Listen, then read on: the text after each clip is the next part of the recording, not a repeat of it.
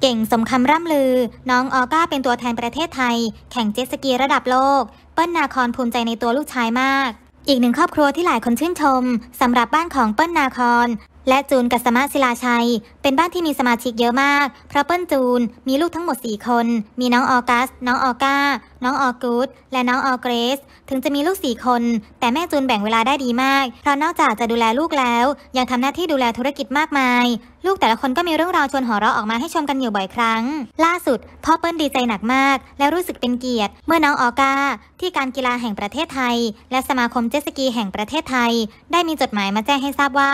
เด็กชายนคราศิลาชัย ได้รับเลือกให้เป็นนักกีฬาทีมชาติไทย เพื่อไปทำการแข่งขันเจ็ตสกี World Final